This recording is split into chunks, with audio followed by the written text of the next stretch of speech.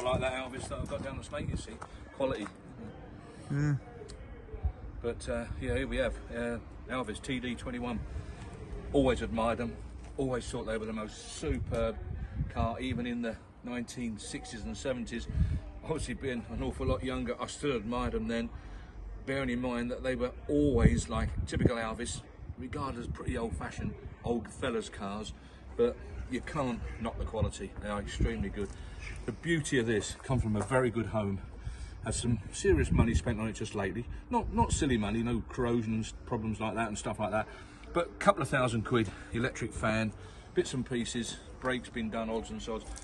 The underneath is an absolute picture. You want to see that back axle in that area there. It's absolutely superb.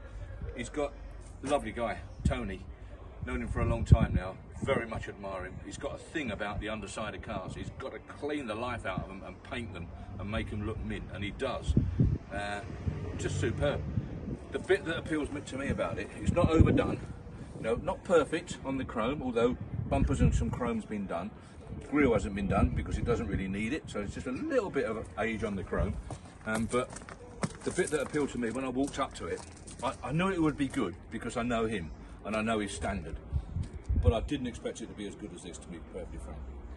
And then when I walk up to, to a car, especially like this, especially a big old slab-sided old beast, which is basically what it is, most of them, in my experience, are like the Rocky Road to Dublin. They're like a dog's hind leg, and and they're, they're horrible. They really are horrible.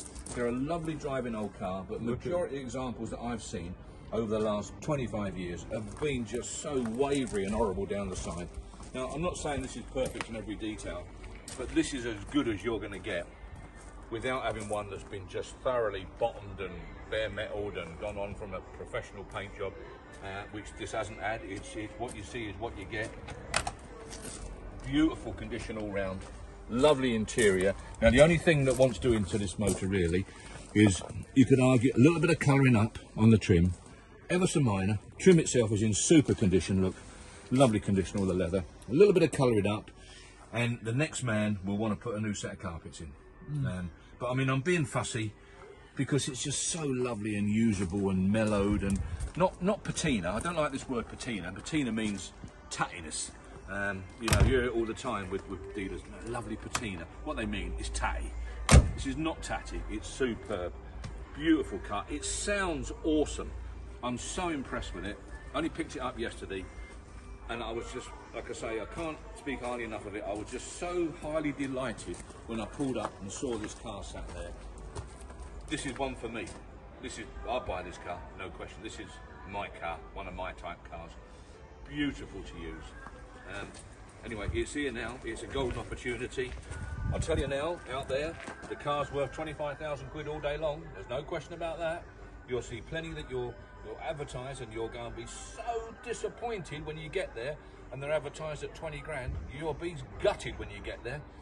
You will not be gutted when you come and see this at 25,000 quid. Cracking car.